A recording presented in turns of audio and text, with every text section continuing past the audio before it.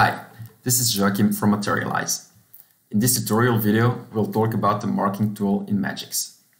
Marking is an essential tool used in combination with other functions such as fixing, editing, or support generation. The marking tool allows to mark a whole STL file or just some triangles, planes, surfaces, and shells on this file. Before we start, I'm going to switch to the triangle view for a clearer explanation. Now let's zoom in and get started with the various entities you can mark. The first is the Mark Triangle tool. A triangle is the basic building element of an STL file. When this tool is activated, you can click on triangles to mark them one by one. In order to apply marking through the part, hold Ctrl while clicking on a triangle. Like this.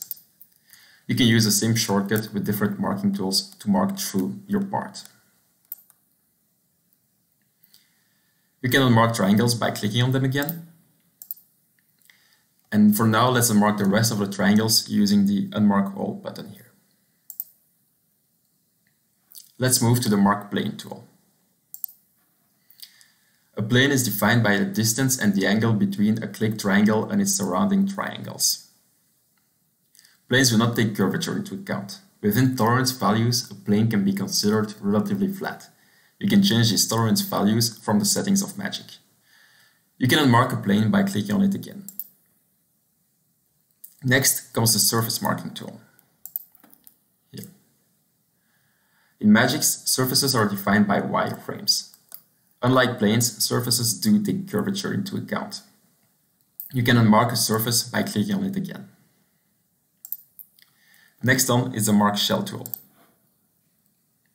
A shell is an uninterrupted connection of triangles. When I click on the part here using mark shell, the whole part is marked, because all the triangles are uninterruptedly connected to each other.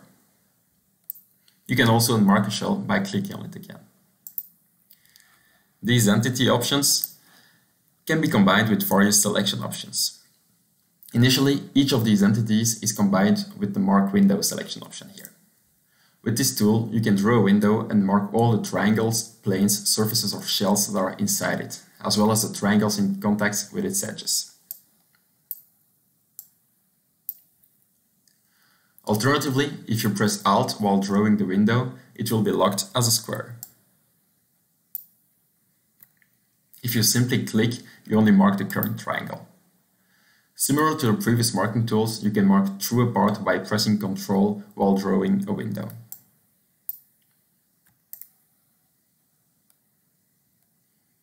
In order to unmark a certain region, press Shift while drawing a window. In order to unmark through, press Ctrl Shift and draw a window, like this. You can use the same method for other marking tools that you see on the screen. Next is the Mark Brush tool, here. All the triangles touching the brush line will be marked with this tool. For finer or bigger brush, you can change the brush size by pressing Ctrl while scrolling up and down. Or you can directly change the size in the toolbar. You can also mark a freeform region. Simply click and draw the form with your mouse. When you let go of your mouse button, Magics will complete the line and apply the marking. You can also mark a polygon. You click on the corners of the polygon and when you right click it will close the polygon like this. You can also mark an ellipse. Click on two points to indicate the axis of the ellipse and then you can choose a third point to finish the ellipse. Alternatively, you can press the Alt button and create a circle. First point, second point, and my circle. Note that when you're in marking mode, holding the control button while you right click will give you access to a context menu to easily switch between selection tools. The window, freeform polygon and ellipse triangle marking can also be combined with remesh.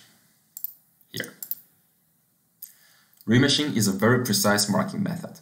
By choosing these options, the triangles touching the edge of the marking region will be redrawn. Therefore, only the triangles within the desired region will be marked. Let's give you a quick demonstration.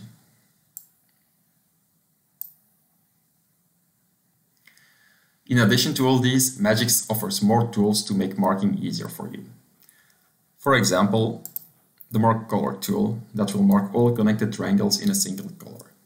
The Mark Horizontal tool that will mark all the horizontal triangles and the Mark Vertical tool that will mark all vertical triangles. There is an invert marked option to invert the marked triangles on the part. And there's shrink and expand tools that will narrow down or expand your selection by one triangle at a time, like this. There is an option to delete marked triangles. But for now, let's undo this. There is also an option to hide triangles. Here. Thanks to this option, you can actually mark a few triangles, hide them from view, and inspect the inside of a part without a problem. If you'd like to invert the visibility, you can use the Invert Triangle Visibility tool. Like this. Finally, in order to make all the triangles visible again, use the Make All Visible tool. Thank you for watching, and please make sure to check our other tutorial videos. For further questions about our software, please do not hesitate to contact the support line of your nearest Materialise office.